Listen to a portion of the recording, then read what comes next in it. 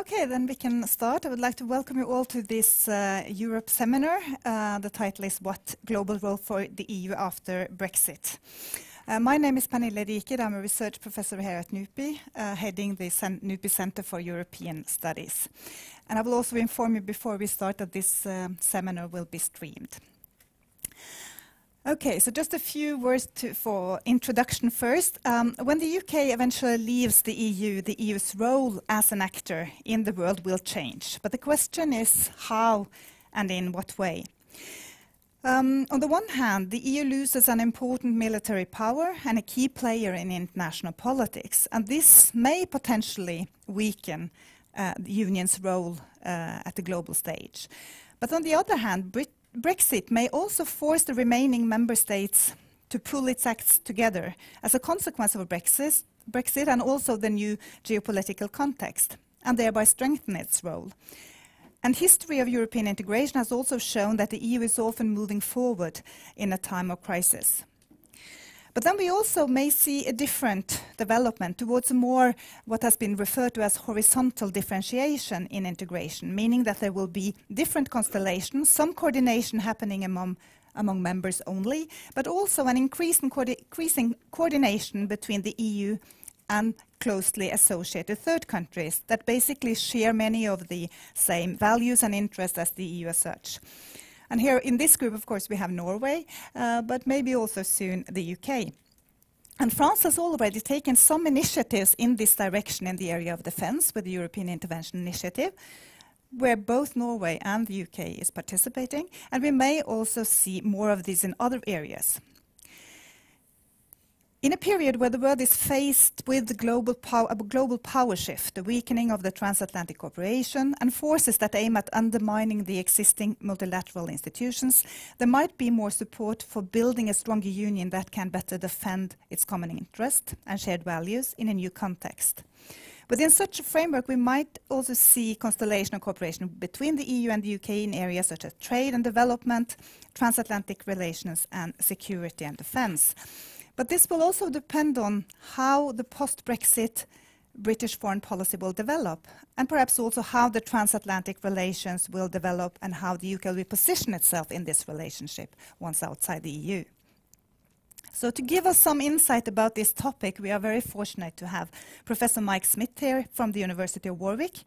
Uh, Mike will present his work on the interplay between Brexit and the EU's international role. He will focus on the UK case discourse about global Britain and EU's global strategy from 2016. And by looking at these globalist discourses, Professor Smith will discuss how EU external action will be shaped by Brexit in three different areas, namely trade and development, transatlantic relations, and security and defense policy.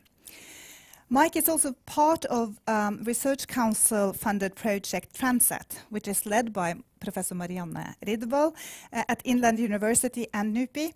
And several NUPI researchers, including myself, participate in this project. Mike Smith is honorary uh, professor in European politics at University of Warwick and also emeritus professor at European politics at Loughborough University. And he has also published extensively on EU external policies and on EU diplomacy, and we very much look forward to your presentation. So with not further ado, I will give you the floor. Welcome. Uh, thank you very much, Pernille. Um, uh, that was a very wide-ranging introduction. I hope I can live up to the, uh, the agenda that uh, was setting. Um, it's, uh, it's a great pleasure to be back at uh, NUPI. Uh, it was a long time ago that I was here before, and it wasn't here, so to speak. It was uh, elsewhere in Oslo. Um, uh, uh, I'm planning to, uh, uh, to talk for about 35 or 40 minutes. Um, and uh, then obviously uh, we can have a, a discussion and uh, I, uh, I anticipate that uh, in discussion uh, there will be a lot of questions I can't possibly answer because nobody can answer them about Brexit and that kind of thing. But we can talk about them and we can think about the, the way in which things might go. Uh, inevitably, of course, with the Brexit process, the, the timing of this talk is either extremely good or extremely bad, um, because uh, uh, as for the last hmm, it seems like forever now. Uh, we can't really tell what's even going to happen tomorrow, let alone what's going to happen in five years' time. Um, my argument is not really so time dependent, though, because it's about the ways in which uh, the European Union. And I am going to be talking about the European Union, but inevitably I'll talk about British uh, foreign policy as well. Um, it's, it's an argument about the forces confronting the European Union's external role. Uh, many of which are independent of uh, Brexit. Uh, it's uh, one of the features of Brexit, of course, that the British think the world revolves around them, uh, and actually, of course, it doesn't. Uh, and uh, the problem, uh, the gap between the perception that Britain is at the centre of the world and the reality is uh, one of the big issues uh, in Brexit itself. Um, uh, we can also talk about the importance of uh, what I'm going to say or the possibilities I'm going to raise uh, for Norway, and I'm happy to do that, although you're the experts on that rather than, uh, rather than me, but we can, we can talk about that uh, uh, set of issues. Um, okay, what I'm going to talk about, these things. Um, first of all, and I better get my watch out because I, oh, there's a clock there, right, good. um, uh, uh, uh, first of all, I'm going to talk about, uh, as Pernille said, about the, the discourses of globalism. Uh, in both British and EU foreign policy, because of course these uh, discourses of globalism intersect uh, and they condition each other and they are partly dependent upon each other. then I'm going to talk about the way in which you can translate these discourses into uh, action and into policy, uh, and particularly through the idea of uh, roles, the idea that uh, uh, you can analyze the roles that are conceived by, uh, in this case, the EU, but also Britain, and use that as a guide to the extent to which they can perform those roles. because it's no good having a a grandiose role conception uh, and not being able to implement it or act in accordance with it. And uh, that gap, again, is something that uh, uh I want to talk about. Uh, then I'm going to say something about the three areas that Pernille mentioned, uh, trade and development, transatlantic relations and security and defence. Um, these aren't the only uh, areas in which we could uh, talk about uh, the relationship between EU uh, external action and uh, Brexit. Um, but they're three of the most consequential, and they may also, of course, be three of the most consequential for third countries, so to speak, like, like Norway. and in those areas, I'm going to talk about the ways in which the uh, changing global forces uh, can actually influence not only British policy and its uh, potential, uh, but also, of course, European policy. And then I'll, then I'll draw some conclusions in terms of the, uh, the, the, points I make at the beginning about roles and about the ability to perform those roles. Um, Okay, first of all, a, a, a, tiny bit of history because you can't understand uh, some of this without understanding uh, some history. Um, uh, one of the uh, images which some people say is has most conditioned ideas of British foreign policy over a very long period is the idea of the so-called three circles of British influence and British engagement in the world arena. Um, and this was an idea that was first really put out by Winston Churchill, which of course makes it very relevant to the Conservative Party and their images of uh, uh, Britain's international role.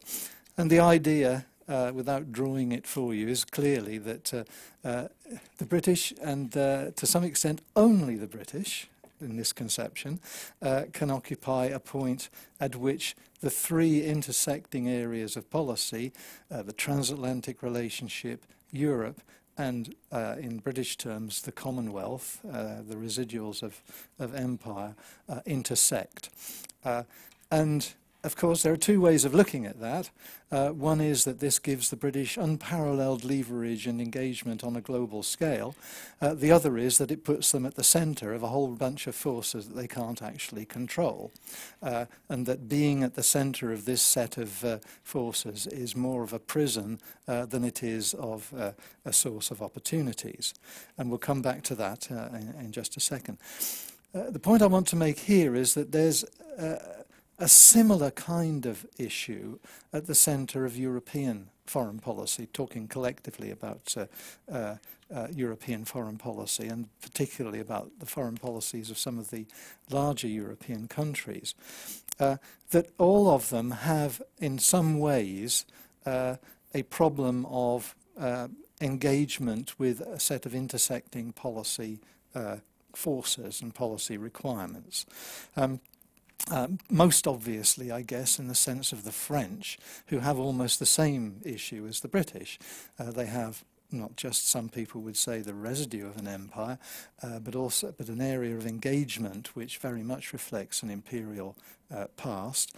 Uh, they have, of course, the engagement in Europe. Uh, more so than, than, the British in, in some ways. Um, and they have the transatlantic uh, circle, uh, which may or may not be more congenial to them than the transatlantic circle is to the British. And we'll come back to Donald Trump uh, later on. Um, uh, so for, for, European countries, and I'm not just talking about France, but for a number of European countries, uh, there is this intersection of transatlantic, post-imperial, uh, or third world engagement and uh, the European commitment.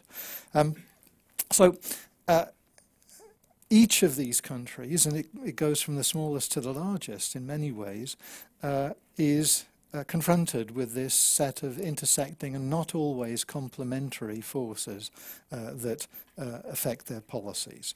Um, the second thing that many of them are subject to uh, in different ways is a discourse of retreat uh, uh, that in many ways since 1945 the policies of large numbers of European countries have become more concentrated on Europe and there's been a retreat from a sort of globalist imperialist uh, uh, perspective. Um, uh, this was most obvious in the case of the UK uh, through what was called at the time the collapse of options. In other words, this, is, this you something about the British discourse about Europe, of course, the way in which engagement with the European integration project was seen as a sign of defeat. It was seen that as a, as a sign that you, you were no longer capable of operating as the power you had been. But again, in many ways, this has been the case for a number of European countries, that the European integration project has, in a way, paradoxically, at one and the same time, been seen as a way of recovering global influence, but also as a way of uh, formalizing a kind of retreat from uh, an independent national global policy. So the, the, this set of forces that operate on uh, most, if not all, of European foreign policies uh, in terms of the ways in which they engage with these major uh, circles of influence or of uh, uh, problems that have to be addressed. Um, not surprisingly, uh, even after uh, full commitment to the European project, which of course was never entirely full in the case of the British, um, uh, you have globalist discourses that persist. And in many ways, as I've just mentioned, the European Union becomes a way of recovering some kind of global uh, influence and global uh, uh, leverage. Um, which you may say makes it rather odd that the British uh, would like to disengage themselves from this particular source of global influence. Uh, and we'll come back in more detail to that in a second. Um, over the past few years, uh, there have been a number of efforts to, in both Britain and in the European Union, uh, to uh, to address, confront, uh, and deal with uh, this particular set of issues. Um, one of them is obviously Brexit, uh, and the idea that through Brexit, the British can recover their global influence and can recover their status as a major uh, part of the international arena. And to give you a flavour of this, and probably betrays my political persuasion as well, I'm afraid, um, last week's New Statesman uh, had on the front of it uh, the fantasy of global Britain. Uh, the idea that uh, and, and, Global Britain, of course, has been one of the areas of discourse that has emerged from Brexit. The idea that you can rebrand Britain, not as cool Britannia like uh, Tony Blair did or tried to, uh, but as Global Britain. And that uh, uh once we're freed from the shackles of the European Union, we will be able to bound onto the global stage and be a leader in multilateralism, a leader in uh, uh, trade, a leader of various areas, uh, and that we've been uh, sort of held back from this by uh, membership of the European Union. And the argument in the article in the New Statesman is essentially that uh, the idea of global Britain, as opposed to imperial Britain, uh, is a complete delusion uh, that it seems to indicate that there's some sort of buccaneering Britain, uh, which, if just released from these ties, would resume a role that it had had before. But that's inseparable. Well, the role of global Britain in the 19th and 18th centuries is inseparable from empire. So, how you can do it without uh, attempting and failing to recreate some sort of empire is uh, uh, a, an interesting question. Um, on the European front, uh, uh, there has, of course, been uh, the European Union Global Strategy, and this is the most recent manifestation of it. Uh, the report on the third year or the three years of the global strategy so far. Um, uh, three years on and looking forward, as it says. Uh, significantly, and I haven't, I must claim not, I must disclaim the idea that uh, I have read every word of this document, which has only been extant for a few weeks. Um, there's one mention that I can see of Brexit, right? And that's in the beginning where it talks about the publication of the global strategy initially, which was you know, the weekend or the week beginning after the referendum on British uh, uh, exit from the European Union. As far as I'm aware, there is almost certainly almost no other mention of Brexit, and uh, uh, that is interesting uh, because it chimes in with the argument I want to make. Uh, which is essentially at the end of the day uh, that the forces that condition the European ro Union's role in the global arena uh, have rather little to do with Brexit. Uh, may, that may affect uh, particular expressions of that role and that form, but it's much subordinate to a, a, range of global forces that will become apparent as I go on. Um, so the question is, well, yeah, okay, you can say people have talked about there is a discourse in both Britain and in the European Union, and they've become separate discourses about globalism. On the one side, the idea that you can recover some sort of lost global uh, influence through leaving the European Union. On the other hand, uh, that in a sense it's only by belonging to the European Union that its member states can achieve global influence through a global strategy uh, and can achieve uh, what the European Union has called uh, strategic autonomy uh, in the international arena.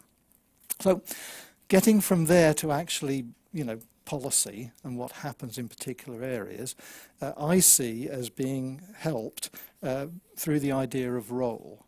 In other words, that by looking at these ideas of globalism, uh, you can develop an idea of how Britain and the European Union European Union at the European level, not all of the member states individually, uh, have developed a notion of their global role. And we've just referred to that in a sense.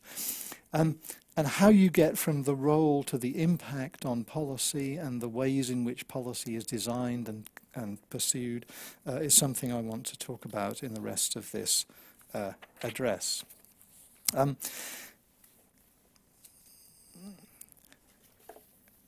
This is just a very, very simple framework uh, for considering the roles of the European Union and incidentally the role of the United Kingdom as well. Um, one of the things that's fairly obvious is that during the uh, membership of the UK, and I'm not I'm not really talking in the past tense uh, because uh, there is still a hope that it might not be in the past tense, and we can discuss that one later on as well. Um, Uh, but during the membership of the UK so far, uh, there have been problems of role. A problem of role for the UK, whether it's going to subordinate itself to the European Union, as, as British policymakers might have seen it, or whether it's to be a leader within the European Union. Uh, and uh, the question is uh, whether that's made the British, uh, as a guy called Stephen George once called them, an awkward partner. Um, there's no doubt about it. The British have been an awkward partner within the European Union. They've been an awkward partner for some people outside the European Union as well. Um, and the question is uh, the extent to which, within the European Union, the British were able to actually pursue uh, their role as a particular kind of foreign policy actor, a particular kind of foreign policy influence. Uh, and opinions differ about that, and we could go on for the rest of my 35 minutes or 40 minutes uh, uh, talking about that. But the other part of the equation is that the EU has always had a problem and still has a problem about what its international role is going to be. Um, about how the European Union can translate uh, very, very broad statements about what it talking about the European Union, would like to be in the international arena into specific policy initiatives and the way in which those policy initiatives might work. And that was the purpose, of course, of the global strategy.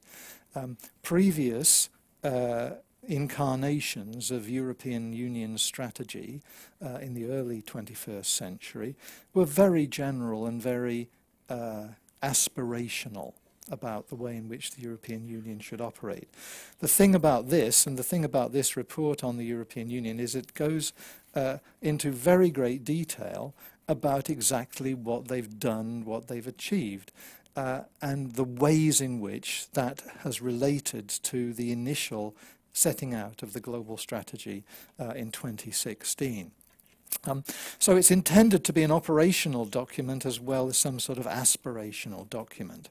Um, but it doesn't necessarily resolve the problem that the EU has had, uh, which is that uh, there's always a gap between what the collective uh, of the European Union can aspire to, uh, the idea that the European Union should be a different kind of power in the international arena, uh, the idea that it expresses a particular kind of normative position that the idea of the European Union in itself is a force for good in the international arena, which of course was reinforced when the European Union a few uh, years back was awarded the Nobel Peace Prize. Uh, the idea that the European Union is some, a, a unique peace project and that part of its task is to project that project onto the rest of the world. Now that can be seen as a good or a bad thing, uh, but that's certainly something that's characterized the European Union uh, declaration of its role. The question is whether the European Union is actually able to pursue that role, uh, whether it's able to uh, uh, put into operation policies that uh, lead it towards that particular kind of aspiration. And uh, last last Friday, I was uh, did some training for the European External Action Service in Brussels uh, about the subject of multilateralism. The idea that the European Union is uniquely committed to the multilateral system, uh, all of those international agencies from the United Nations downwards or sideways uh, that help with global governance. And one of the one of the things that emerged very clearly from that, and this was European External Action Service uh, officials that we were talking to, is that uh, the gap between the aspiration of being uh, a force for multilateralism in the international arena comes flat up against First of all, the fact that this may not actually correspond with European interests in any particular case. And secondly, at a, le a, different level, that it may not correspond with the ways in which European Union member states uh, conceive of their interests and their roles in the international arena. So there's a problem. Uh, it's not so much a problem of aspiring to a particular role, it's a problem of moving from that to actually being able to perform it. And performable roles is uh, what we're talking about in this uh, uh, context. Um, one of the influences on that is the external, as I would call it, the external opportunity structure. The fact that, you know, the external structure of the international arena, of the global system, may or may not allow the European Union uh, to play the kind of role it wishes to, or for that matter, the British. Um, those people who've written about uh, the idea of opportunity structures uh, have talked about them mainly in the start from the point of view of social movements. What is it that enables particular social movements to exert leverage at some times and not at others? Well, it's an idea which can be applied to international relations as well. Uh, and my broad conception of it is uh, that in, for example, the late 1990s, the uh, global opportunity structure was one that enabled the European Union to exert considerable influence in particular areas. It was a kind of open structure which gave opportunities. Uh, since then, uh, it's arguable the, the global opportunity has structure has closed down, that the European Union has fewer opportunities to exert global influence, uh, and that you know, you can think of examples as we speak uh, uh, of the way in which the European Union uh, may or may not be able to exercise influence. But things like the uh, what people call the resurgence of geopolitics, uh, you know, the, the, the, return to power politics or the politics of maneuver uh, in particular areas like the Middle East, obviously, is something that the European Union has not been well equipped to deal with. Geopolitics is not something the European Union is necessarily good at, uh, partly because of the way the European Union is composed and the way in which it makes decisions. So, basic, basic issue then is uh, the problem of the European Union's role in world politics, and linked to that, the problem of the British role in world politics, is one that we uh, should investigate. And I've very briefly set out four elements that can be used to, identi- to, to analyze this kind of uh, role. Role conceptions, in other words, how people think they should be operating in the global arena role design and institutionalization, in other words, how they then design institutions or policies to try and pursue that role, and this is a good example. It's a very good example of role design for the EU. Um, uh, role performance, in other words, what actually happens, uh, and then role impact, in other words, the impact that this has, not only on the outside world, but on uh, the uh, European Union uh, in this case, in the European Union itself. It's very important, obviously, to remember that none of this happens in isolation. If, you, if you're trying to play a particular role in world politics, it happens in a context. Uh, it happens not only in one context, it happens in a whole range of linked contexts. You know, trade is linked to security, is linked to environment, is linked to human rights, and so on. So, engagement with world politics and world economics in, is, is, a, is a question of partly of linkage, of coordination, of how you you know, try and play the same role, or do you play the same role in different contexts? Um, and it's linked inexorably to the problem of communication and negotiation. Uh, the European Union, it's often has been said, is a kind of negotiation machine. Uh, if it moves, negotiate with it. Uh, is uh, said to be part of the European Union's makeup.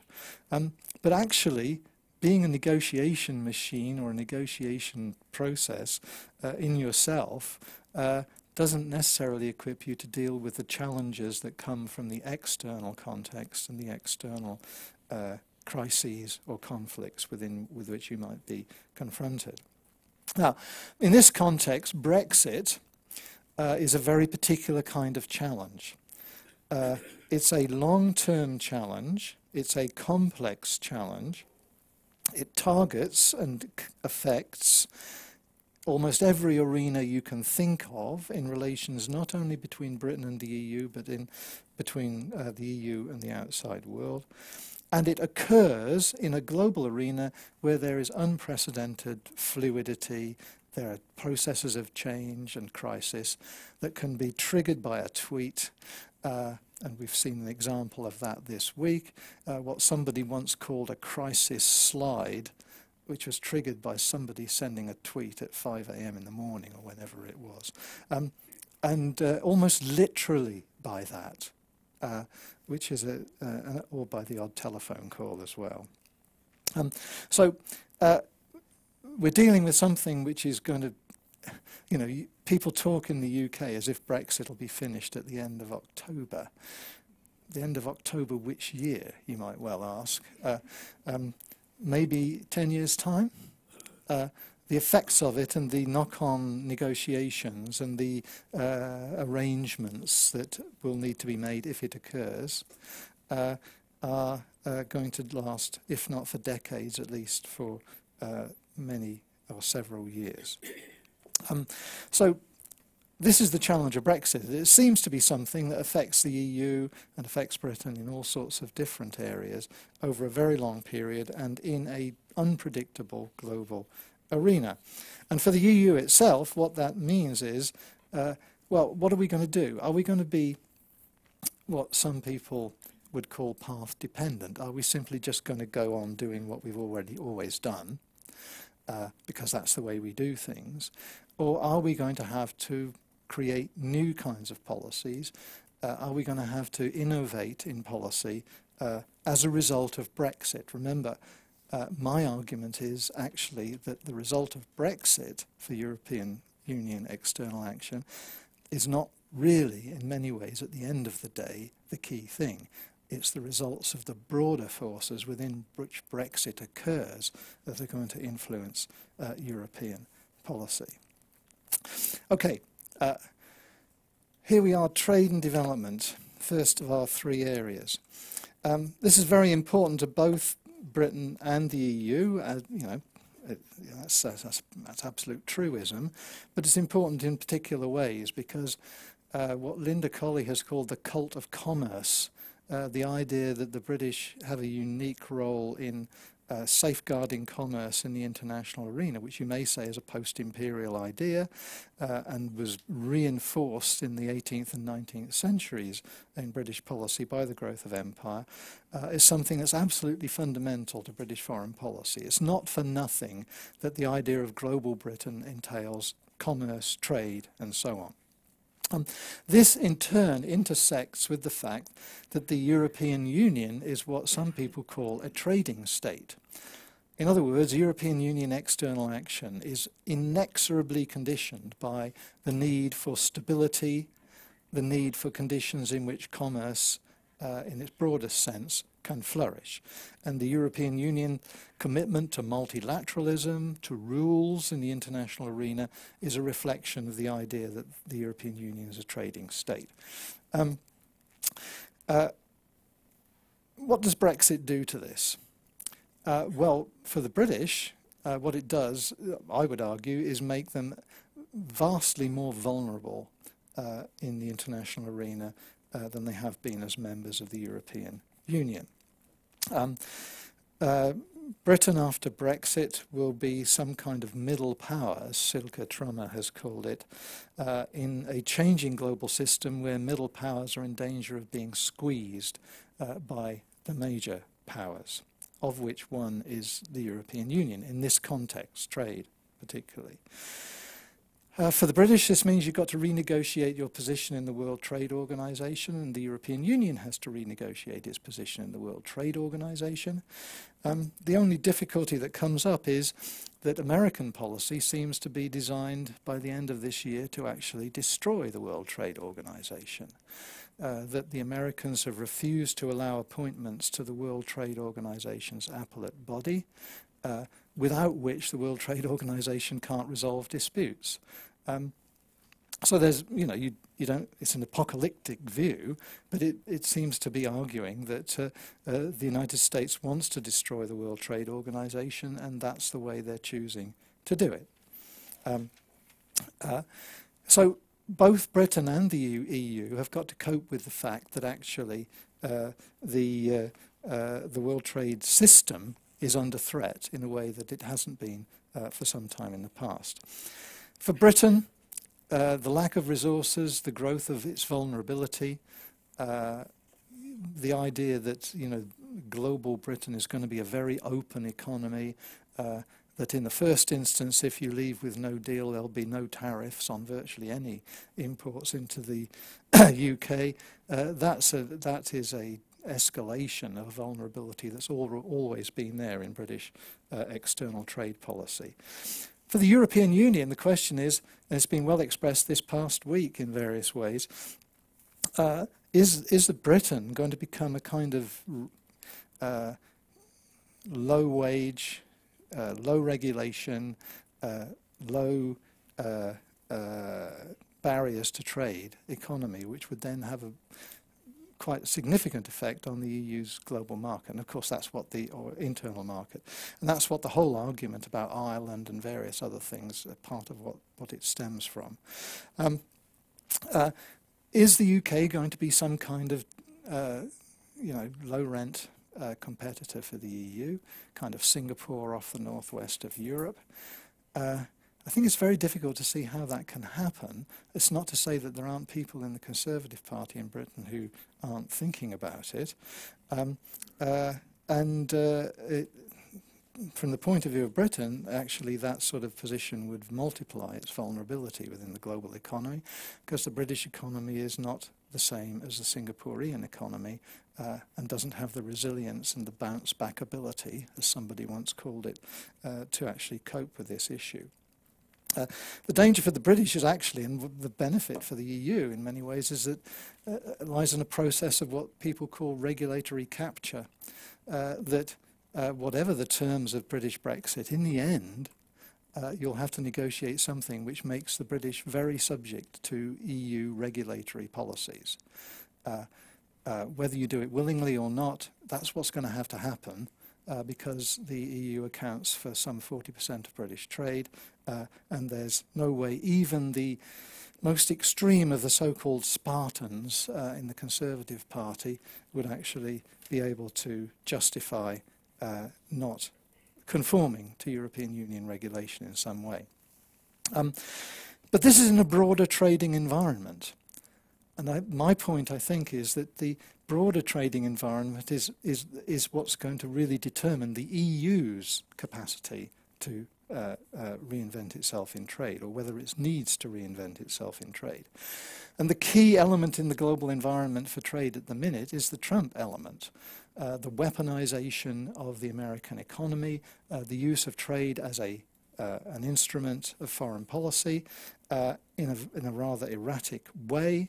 The use of trade sanctions, of course, in a very widespread way, although that's a tradition in American policy which goes quite, quite a long way. Um, so the Trump challenge, uh, the idea of uh, trade wars as an instrument of policy, is something that's going to be more uh, uh, uh challenging and immediate for the European Union. And in that context, the, the dealing with Brexit is a very awkward and difficult problem, but it's not the key problem for the European Union, uh, because inevitably in the end, the British, uh, this is my argument, are going to have to conform in some way or another to European regulatory structures uh, and trade policies. It may take 10 years, but that's what it's going to have to happen. So the, for the British, the new vulnerabilities, uh, new a search for new forms of integration, because the British economy cannot exist without integration with others in some sense, is taking place in uh, this arena of what Alberta Sbragia and, and Chad Damro have called competitive interdependence. Like, there's lots of interdependence, but it's between rival blocks and rival uh, great powers, so to speak. I've already said this will lead to a continuing need for the link between the UK and the EU. But the question is, what kind of partnership is it going to be? Is it going to be a customs union? Well, some people in Britain still think that that's the likely outcome or a possible outcome. Could be a partial customs union, of course. Uh, could be a Japan-type uh, economic partnership agreement. And I've always thought, since last year when the EU concluded its agreement with Japan, uh, that actually that's the model that could work for a Britain that's detached from Europe. An economic partnership agreement, a strategic partnership agreement alongside it, and a structure that goes along with it of institution, in institutions uh, to run it. Uh, the third type that people have obviously mentioned is some sort of European Economic Area type, and I sense that uh, uh, the idea that Britain should join the European Economic Area is not one that would be greeted with uh, universal enthusiasm by members of the European Economic Area. Um, but the point about, point about all this is that uh, all of this remains to be decided. None of this has actually been negotiated. There's a, there's a political declaration uh, for the British, uh, uh, uh alongside the British withdrawal agreement, uh, negotiated by Mrs. May, uh, but none of it has actually been negotiated or even started to be negotiated. but my argument would be for the European Union, there's more likely to be kind of path dependency, go on as you are, but the challenges come from somewhere other than Brexit. Uh, trade and development, this is the development bit. Essentially in development, I'm going to be, uh, I won't take very much longer. um, uh, in development, my argument would be that the current system of development assistance, including EU development assistance, but also national development assistance policies, uh, is actually likely to be maintained, uh, not without change, uh, but uh, without fundamental change, because it's a very mixed system already. Uh, the British are part of the European Union's development policies, but they've also got their national development policies.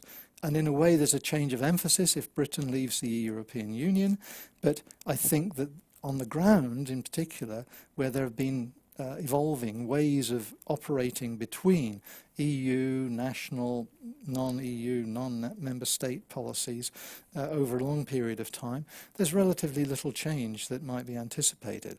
The real change that might be anticipated from Brexit is if the uh, extreme Brexiteers, who also are extreme conservatives in many ways, uh, have a lot of influence, which would lead to a significant reduction in UK aid budgets because uh, they've got two targets beyond leaving the EU.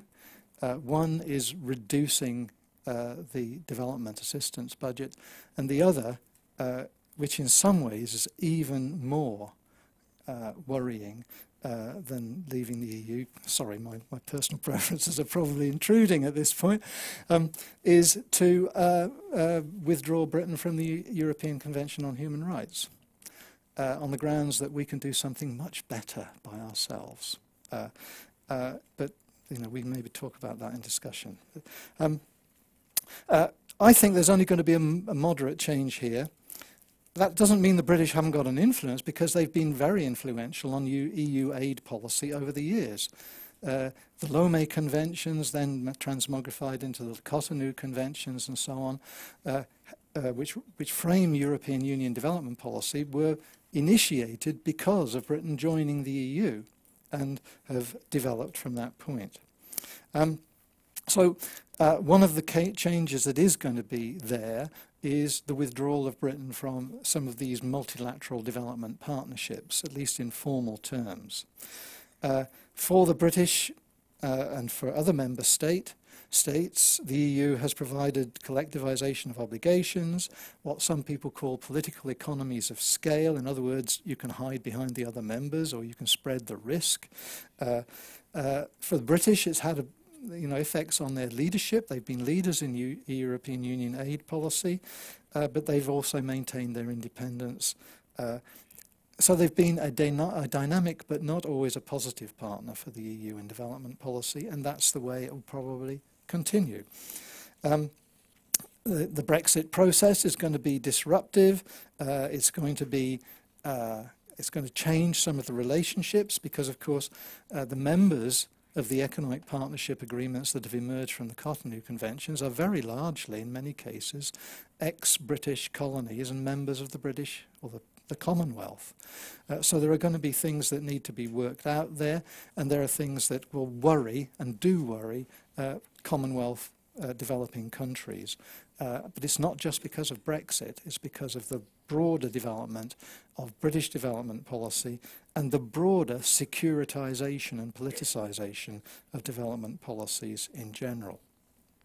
There are external challenges that intersect with this, for example, the challenge from China uh, and the different kind of development assistance and aid policies that the Chinese operate.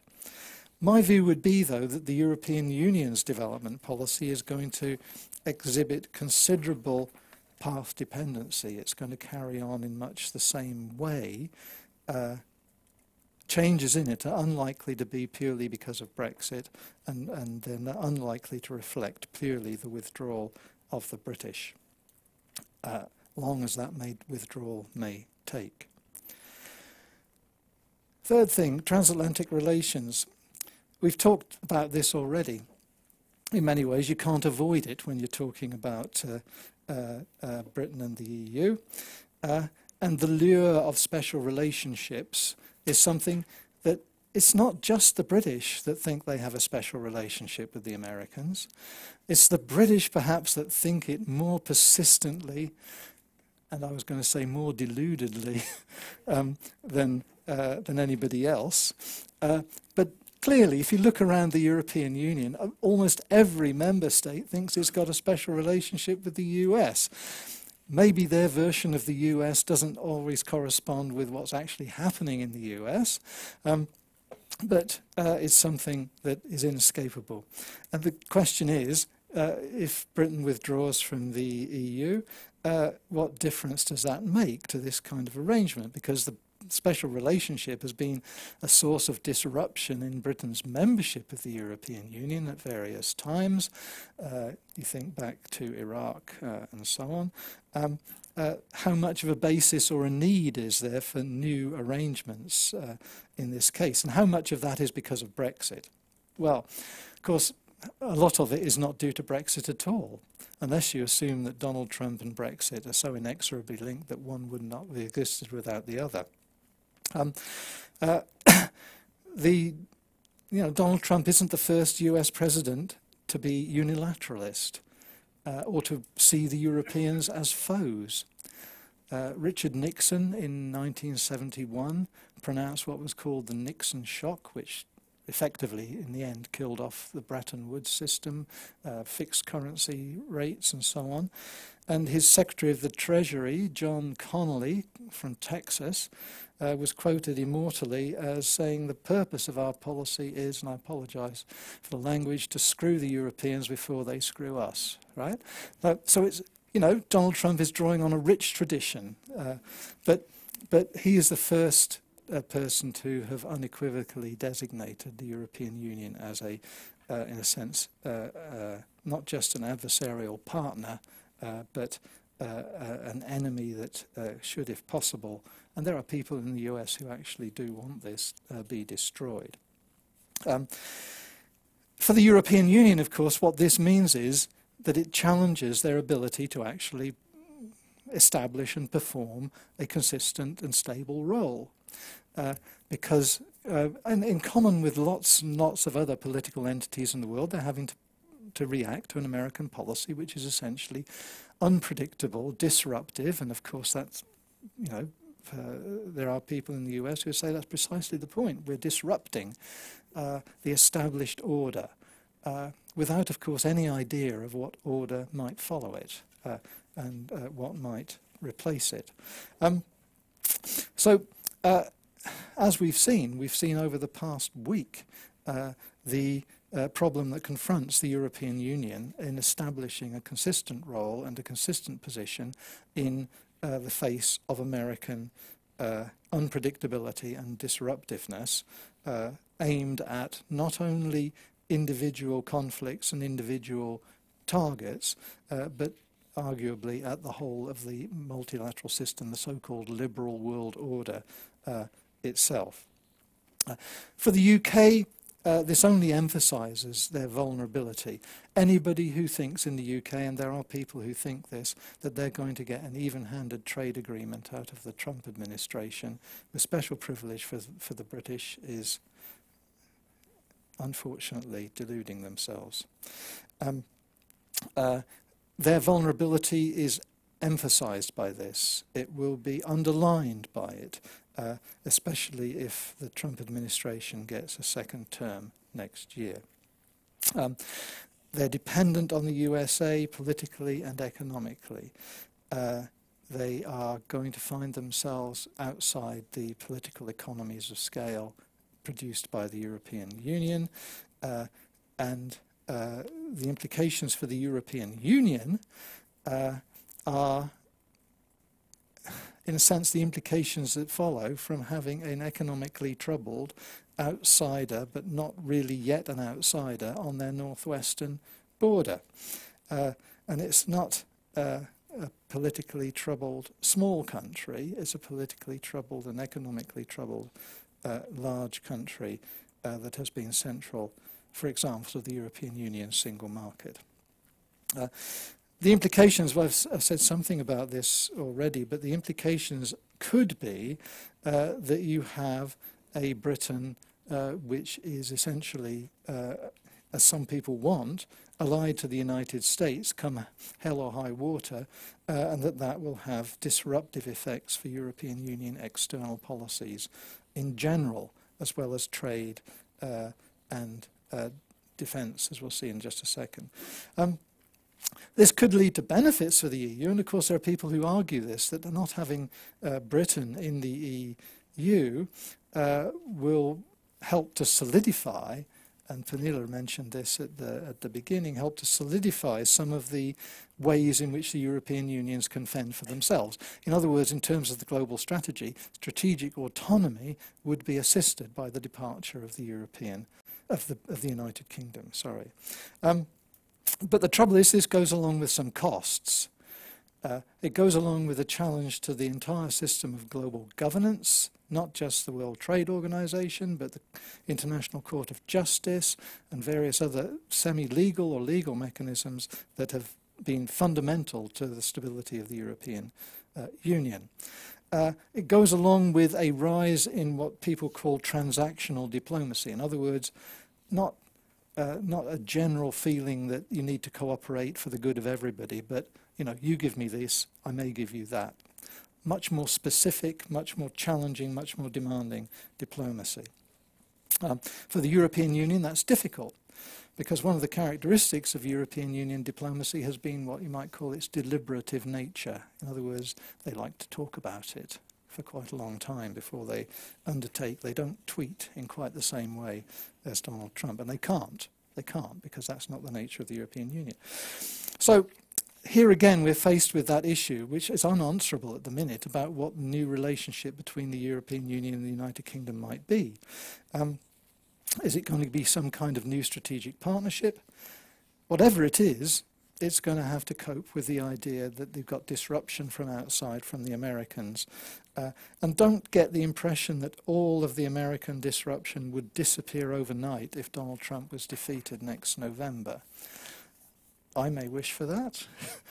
Other people may wish for that, but uh, it wouldn't disappear the problem.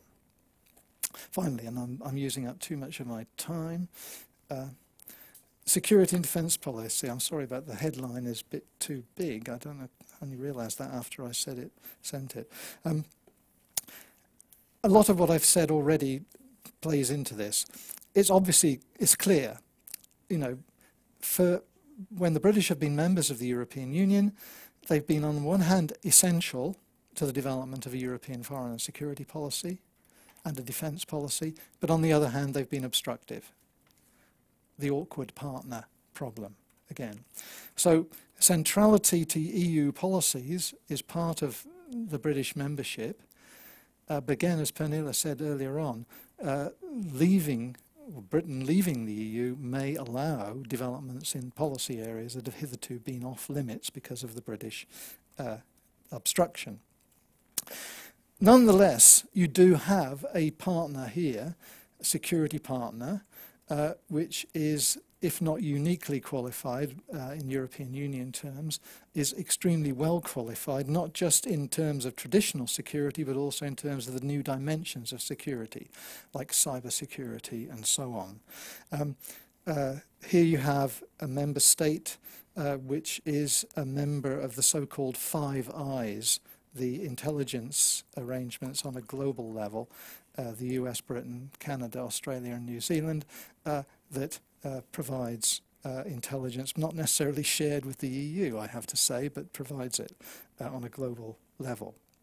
Um, so you've got the same problem as we've had before. Is the departure of Britain going to subtract something? Well, undoubtedly in security and defence it would. Uh, is that going to make it possible uh, for the European Union to enter new areas and to produce new institutional forms and so on? Answer, yes. Will those new institutional forms actually lead to a transformation of European security and defence policy? uncertain because it is possible to establish the institutions and that to be the end of it. You know, it doesn't necessarily have an effect on policy. Uh, now, you know, that's dismissing it in a, in a way that might be too severe. But, but you can see the problem. If Britain leaving liberates the EU in security and defence policy, will the EU then be able to establish, going back to my former point, performable roles in defence and security. In other words, roles for which they have the capacity, the political will uh, to actually uh, implement them, to turn them into operational policy. Of course, that depends on how much you think the, Ameri the British contributed uh, and how they contributed and how that balances out against the fact that they were disruptive, obstructive, and so on. Uh, but it, you know, I suppose one one small example of how this might work is, of course, if Britain withdraws, then the and it has happened already.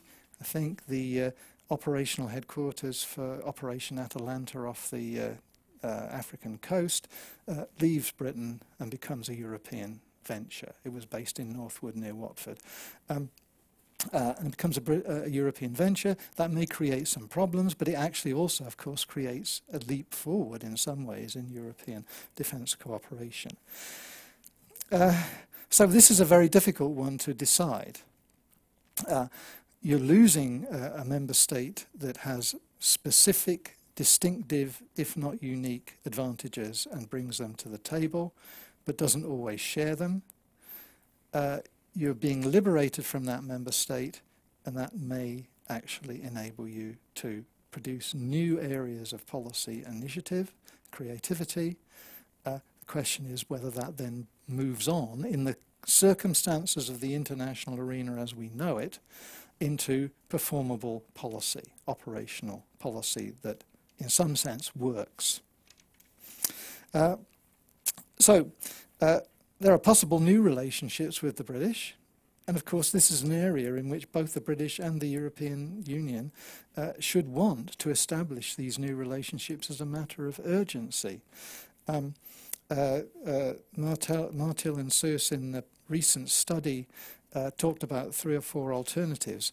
CSDP plus, Common Security and Defence Policy plus, where Britain is very closely associated, uh, which may or may not be feasible a new close relationship with NATO because nobody will be keener on NATO than Britain uh, for obvious reasons uh, in a post-Brexit situation.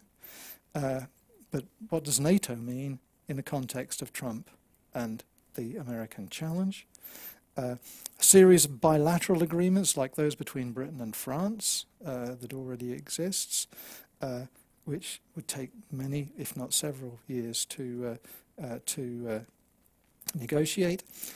And some people would say, well, what will happen is some sort of just ad hoc problem solving. You know, people have got used to working together uh, in the context of the European Union, and therefore they will continue to work together uh, almost whatever the uh, uh general political situation.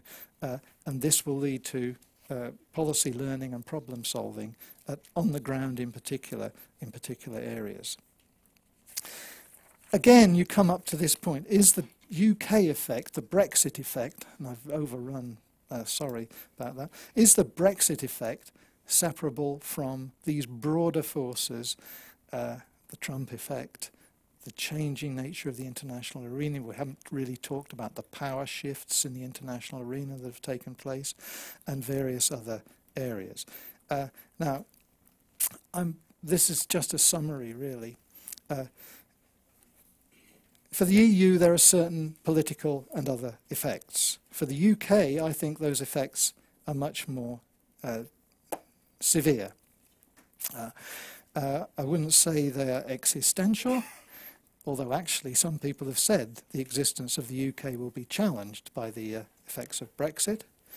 Um, the UK as we know it. Uh, there will be new opportunities because of the changing nature of the international arena, but also new risks for the European Union. And there will be implications for third party perceptions of the European Union.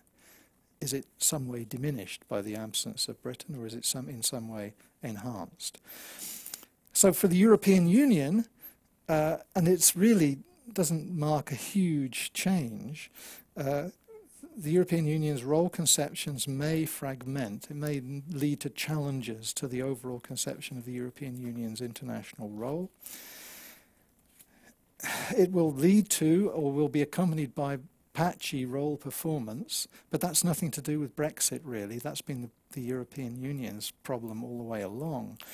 It has led, and I'm sorry I left this out of that list, has led to significant additional role institutionalization and role design, or it's been accompanied by it. And nobody could deny when they were talking about the whole of the European global strategy pre 1916 that it was partly framed uh, in the likelihood of some kind of British Brexit. And it has been since. So, both for Britain and for the EU, there are problems of converting discourse into action. Uh, the European Union has the problem of converting the global strategy, uh, which is influenced by Brexit but not caused necessarily uh, by Brexit, uh, into operational policy. Britain, I think, has a much more severe problem, which is actually trying to reinvent itself uh, without the uh, added capabilities that arise from the European Union, and in a world where its vulnerability will be underlined not only by the policies of adversaries, but by the policies of those that have hitherto been considered their most fundamental allies. Um, and so both Britain and the EU have a problem here. I think the problem for the EU is in the process in many ways of being resolved insofar as it can be. The problem for Britain is going to be much more difficult and much more fundamental over the next five to ten years. And I don't say that with any relish at all. And that's what I want to say. Thank you. okay. Oh yeah, I'll bring that. The chairs here. Thank you so much for a very interesting introduction. I will now open the floor for, for questions and comments. Uh, I will start with a few few questions myself, uh, and while I, I, pose the questions, you can sign sign up. Um, Talking to, to uh, EU diplomats, I think that, uh, uh, and EU diplomats here in Oslo also uh, saying that uh, why, why, all this fuss about Brexit? Why do you have all these seminars on Brexit? Because it's actually not so important. we should focus on other things. Yeah. Um, and that uh, turns back to, to a little bit what you said, that actually it's, it's a greater problem probably for uh, it's a problem for the EU, but it's a, a, great problem for, for the UK how to adapt. Uh, but I want to go back to, to what you said about um, uh, about kind of the, the, geopolitical context, and now that we move into a phase of power politics, and how the EU um, can act on that, or if it's able to act on that. Um, because one thing is to say that it is not set up for that uh, kind of game, but is it also possible to say that because of the EU's difference, it can be a force of protecting multilateralism, um, precisely because it's not uh, kind of playing into that power game in the same way. Um, and it also goes to, to the development that we see of more and more, especially in security and defense and also in other policy areas, uh, more differentiated integration. Uh, and we see that, that the EU is getting more pragmatic in a sense. It's not, it's not so easy to say that the EU is this kind of normative power that is used to, or it used to present itself as it, and it had also been analyzed, been analyzed as a normative power. But it's more strategic, and it's using different instruments. It also, um, when when I refer to differentiated integration, I don't mean only within the EU, but also that you have some horizontal differentiated integration that I mentioned in the beginning, that you have different kind of cooperation structures, some uh, between member states in the EU, but also that includes uh, kind of uh, the UK after Brexit, uh, uh, potentially in close cooperation in many of the areas that you are talking about. Yeah. So I wonder if that is a, is a way of, of seeing it. Well, I, no, I think you're, you're right. Um, uh, I, I, think your very first statement, or your first implication that the EU really isn't set up to do geopolitics uh, and by implication shouldn't be, uh, is an interesting one. And where the EU has become involved in geopolitics, it has not always distinguished itself. Uh, I suppose the most obvious example is the Ukraine, uh, where uh, the pursuit of a particular line of European Union diplomacy uh, was eventually just simply absolutely cut off by the fact that geopolitics, the use of force, and, and so on became uh, the predominant language, so to speak, of the of the of the dispute. Um, and other areas in the Middle East, there are, there are points at which the uh, the European Union, in effect, ceases to have a more have more than a voice. It has a voice, but it doesn't necessarily have the uh, uh, ability to uh, uh influence uh, events on the ground if the language of force, the language of geopolitics becomes dominant. Now, there are some people, of course, who say that, well, it should have. It should have. Uh, and the European Union should consider itself as a power, uh, as, you know, part of a kind of go back to Richard Nixon again.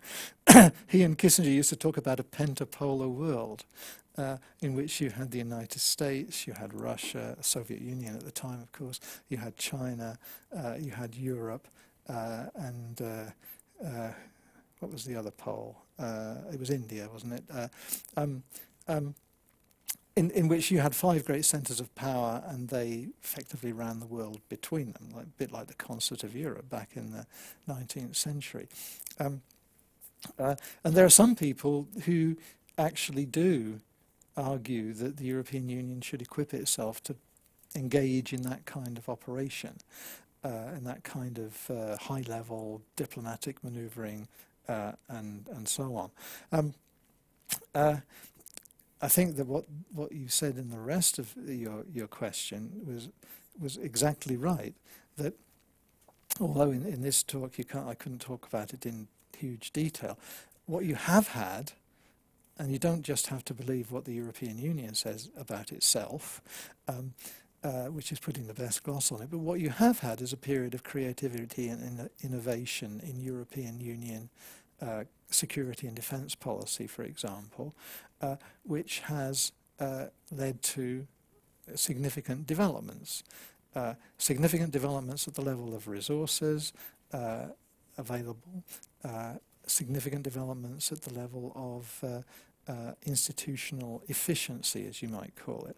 Um, other areas, uh, such as development policy, the European Union has aligned itself ever more closely with United Nations, and in a way, the commitment to multilateralism uh, uh, is seen by at least some people in in EU circles as you know saving the United Nations in a way that it's the European Union that has the ability to uh, to do this where others might have the ability, but they certainly don't have the willingness to do it.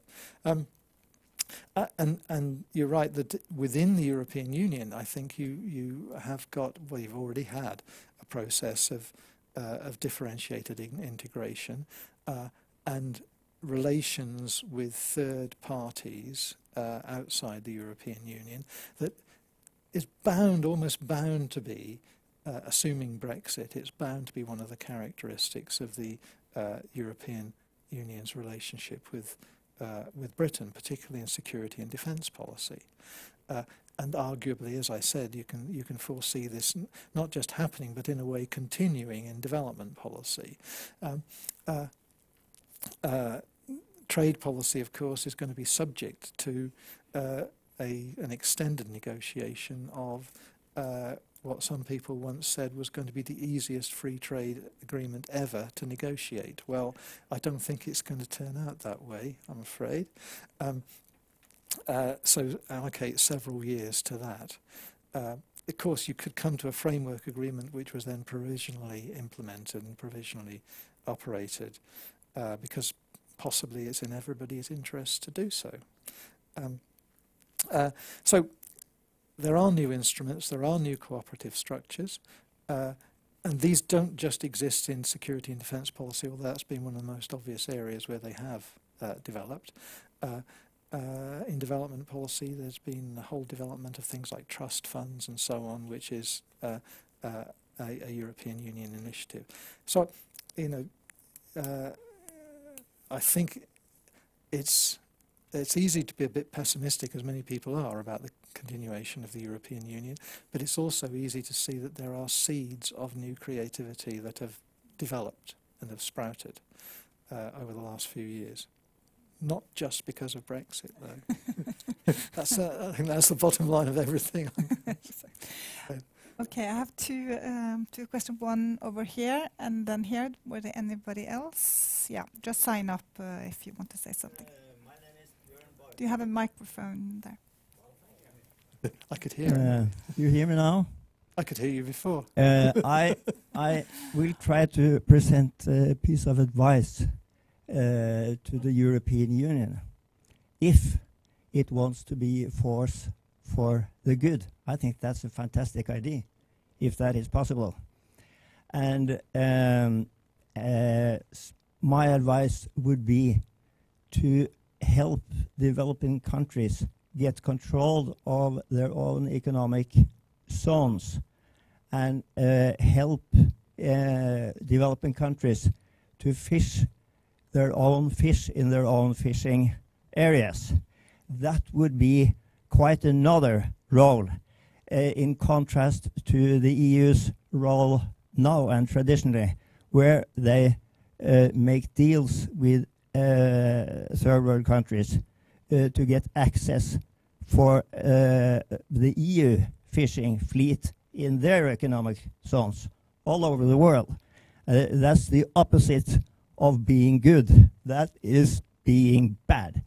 And, and uh, I think also this uh, can be linked to the uh, Brexit process because many uh, fishy, uh, fishing nations in the EU they will regret that they are losing their power in the British zone.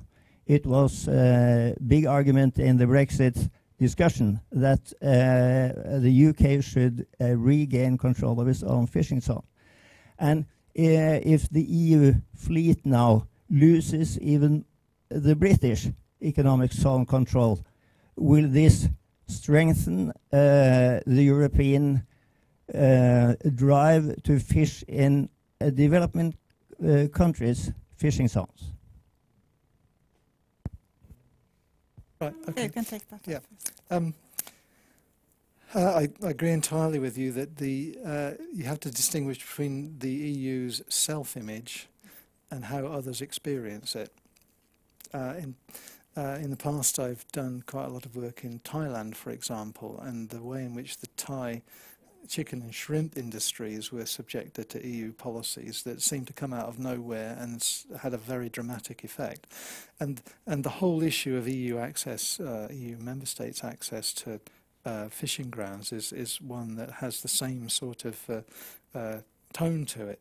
Um, so the, the idea that the EU is a force for good, but actually in any particular set of circumstances or policy area it's not, um, and it acts in a way just like any other uh, international actor, uh, in in line with the conception of uh, European interests and how they might uh, be pursued, uh, is perfectly, you know, it's a perfectly legitimate one, and it's perfectly, uh, as I as, as, framed by you, it's a perfectly reasonable request to make. On the on, on the UK one, I mean. I think you're right that if they did lose access to the British fishing grounds, there might be more pressure to expand uh, their presence in others. Um, the question I ask is ex exactly, and I'm not an expert on fishing, but the idea that the British Brexiteers had that you would instantly regain access to all of your fishing grounds and that that would be an unalloyed good thing uh, doesn't seem to me to hold water. Sorry. um, uh, that uh, because the, the UK fishing industry uh, exports a very high percentage of its uh, fish and seafood to the European Union. So, you know, how does the the calculus work out between access to fishing grounds, and remember that's not just access by Europeans to the British fishing grounds, but access by the British to European fishing grounds, which has led to some disputes in the past. Um, uh, how does that balance off against the interests of the British fishing industry uh, uh in a broader sense. And, you know, uh, I think 10 years might be too little to negotiate that one. Uh, because what's going to have to happen if, if, you know, and I don't think, I really don't think it's likely, if uh, Britain, quotes, leaves the EU on the 31st of October, uh, uh, that's really the starting gun for a whole set of negotiations you're going to have to have over the next decade uh, you know, Norway knows something about this kind of thing. So do the Swiss, uh, you know, uh, which is going to occupy a great deal of diplomatic time. It's going to be disruptive to everyone, but I think probably particularly to the British, and uh, is going to uh, produce results only at a very, very long delay. Sorry, yes, the other question. Yeah, another question here, and then are there more? that I haven't seen? Okay. My name is Tone Rand. Thank you very much for a most interesting presentation. Uh, you mentioned Britain's role in uh, security and defense policy. I would kindly ask you to go a bit more into detail. Uh, based on your long and very solid um, experience, what is your perception of the possible development of the relationship between the EU and NATO? And then a second question, uh, is there a realistic possibility for a second referendum? Thank you. That's a sting in the tail. Um, uh, you know, on the second one, my cards are fully on the table. Uh, I'm 100% Remainer, uh, as are 95% of British academics. Uh, um, uh, but uh, you know, I have I have several positions. One is 100% Remain. Second is, if you're going to negotiate Brexit, do it properly, right? Which is what they didn't do and haven't done. Uh, some fundamental errors of negotiation were made by the Theresa May administration, uh, not least of which was not reaching out and establishing ownership of the negotiations across parties in Britain to start with.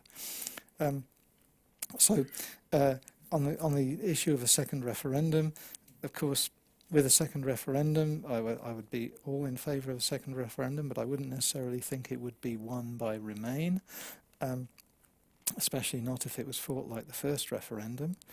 Uh, uh, there's a question of timing, and the question of timing is whether you have it before or after a general election.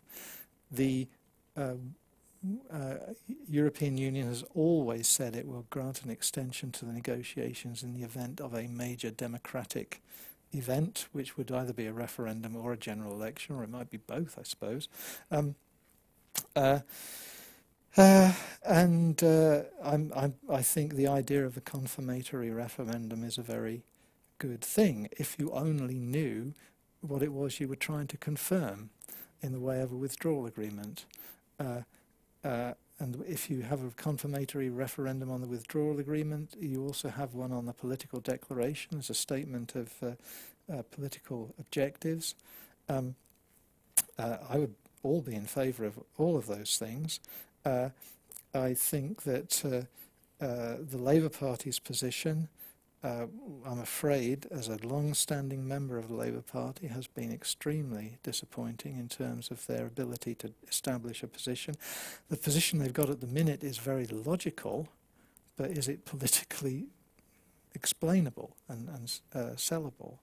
Um, so, uh, uh, yes, I would. I would think that there's a possibility of a second referendum. I think it's more likely to take place after uh, a general election than before one, and you've got to assume that the general election actually produces a clear result, which I don't think it would, I'm afraid. Um, uh, the only possibility is, of course, that uh, our Prime Minister, who's not known for his consistency on these things, might suddenly have a conversion to the idea of a second referendum um, out of desperation or whatever, and that uh, that would uh, lead to a, a, second referendum taking place before a, uh, a, general election. But of course, the problem for both Theresa May and Boris Johnson uh, has been actually controlling their own party uh, as well as controlling the overall political process. So I'm not sure that they would actually be able to put that into operation, even if it was the subject of a last minute conversion. Um, on the UK's role in security and defence and the possible development between the EU's and NATO, Pernille knows 2,000% more about this than I do. Um, uh, uh, I mean, there's already been a significant developments in the, the, relationship between the EU and NATO. The problem is, which NATO are you talking about? Are you talking about the NATO that would reflect Donald Trump's uh, version of events? Uh, or are you talking about some sort of NATO that's become much more, in a way, Europeanized as a result of the Trump challenge? Um, uh, if that second thing were the case, then it would be much, in principle, it would be much easier for the EU uh, to develop a, uh, uh, uh, a strong relationship, a stronger relationship. is already quite strong, although there are some things that people thought were going to be strong which haven't turned out to be uh, uh, as effective. Um, uh, one thing is for sure, as I said in, in my talk, nobody will be keener on NATO than the British because it's their foothold in European security and defence. And uh, the issue then becomes does the British status in NATO change if uh, they are no longer members of the European Union? Do they become less able to exert their leverage or or maintain their position in terms of the actual positions within NATO uh, as a, uh, a non-member of the European Union? Uh, and I don't think anybody knows the answer to that. Uh, but um, I, I would say it's more likely in many ways that there will be a stronger relationship with NATO. But the question with NATO is how much are the Americans going to be remain committed to NATO? Mm-hmm. Thank you.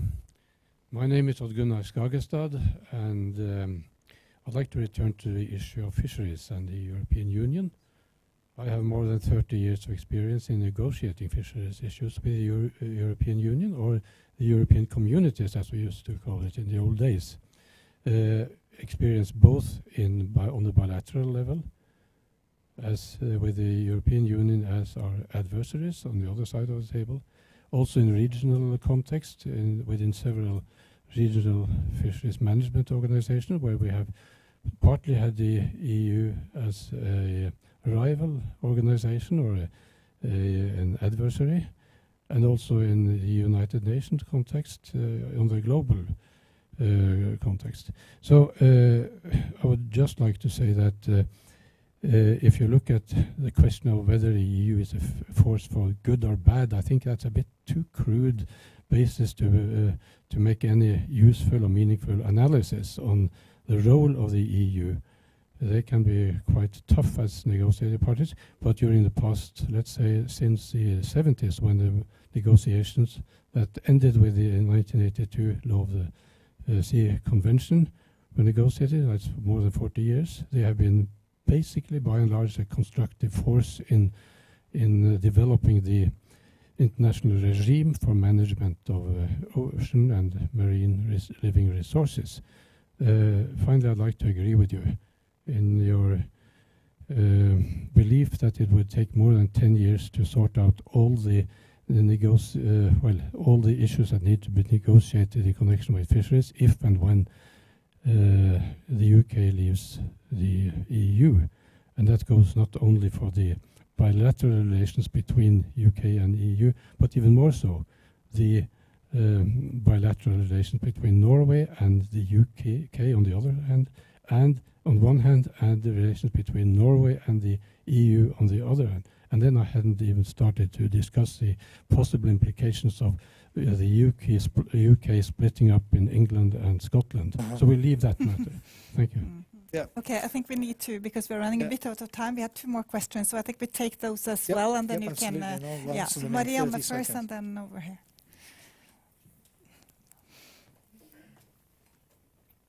Okay, thank you, Marianne Riddervold from uh, Høgskolen Innlandet and NUPI. Thank you for a really fantastic talk uh, that I very much enjoyed. I um, very much agree with you that Britain, no, Brexit might not be that important to the EU's global role, that it's these stru changing structural factors and Trump effect that might mean uh, more for the EU's uh, global role. But I was also wondering if Brexit may affect the EU's ability to uh, be an effective multilateralist. Because the, the UK, after all, uh, uh, is very committed and very good at being a multilateralist. And in the EU's kind of internal coordination in multilateral organizations, the UK has played really, a really a key role. It's very well prepared. It has the experts. It has the language.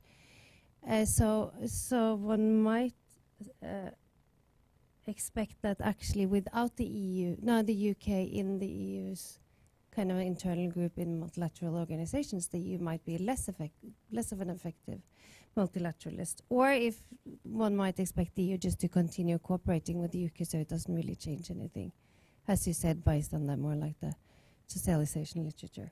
And I was also wondering if you could um, uh, also just elaborate a bit more about what you think of the future relationship in the CFSP, because the UK, there was some speculation that the UK would use its kind of military might and capability as a negotiation card in the Brexit negotiations, but it doesn't seem to have played that role. But the EU needs the UK on the ground, and if Trump puts less uh, focus on NATO, I guess the UK will need the EU as well. So, okay, thank you.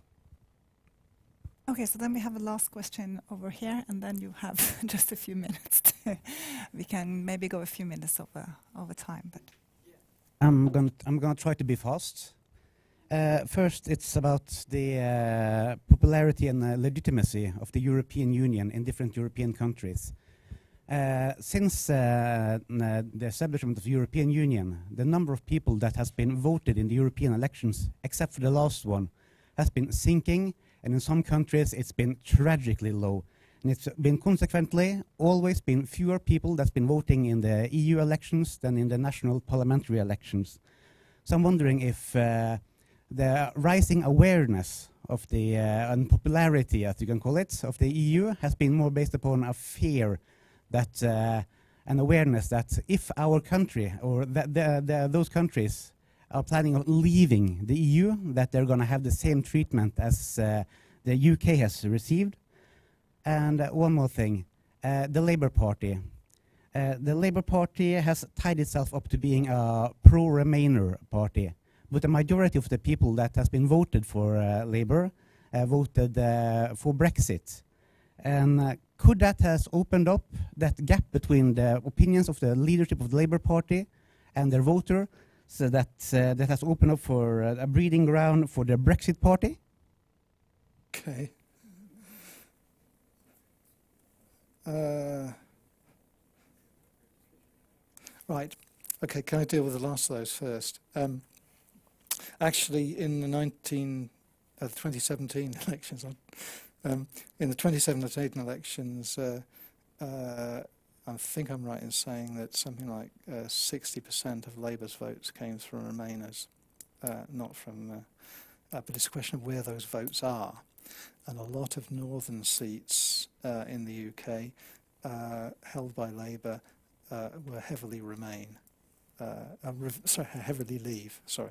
Um, um, uh, so it's a bit of a paradox in terms of Labour Party support that you've got, you know, the the the Remain vote was concentrated in the south and uh, in the middle classes, so to speak, and uh, uh, th that's an area where Labour has traditionally not been as strong. Uh, where it has traditionally been strong was heavily Leave. Um, and this has caused a sort of internal paranoia in the Labour Party about exactly how you position yourself so that you don't lose those seats in a general election. Um, in a way, the Labour Party's uh, hopes rest with the Brexit Party, uh, the Nigel Farage's party, that that they split the Leave vote with the Conservatives, and that uh, uh uh, that uh, in some of those constituencies that would enable the Labour Party to, to hold on. But what it has done is uh, changed uh, the internal Labour Party calculus. And the problem at the minute is that the uh, the leadership and all of the sort of close advisors of the Labour Party come from uh, around London and are part of the sort of London Labour Party establishment, and that doesn't help them when it comes to trying to deal with problems in north of England and Scotland, particularly. Goes back to your point. Um, uh, uh, and I have a, I have a strategy. One of my daughters lives in Orkney, and my strategy is I might go and join her. um, uh, uh uh, on the grounds that you know Orkney actually wants its independence from Scotland, not just from Britain. um, but the the there are so many things these days that you can't actually take uh, for granted that you might have taken for granted before. You can't take for granted the uh, integrity, if that's what it is, of the of the United Kingdom. you can't take for granted uh, the capacity of the Labour Party to uh, win elections on the basis of its uh, North of England strategy and its strategy in uh, large urban areas where either you've got Leave constituencies or you've got Remain constituencies that just don't believe the Labour Party.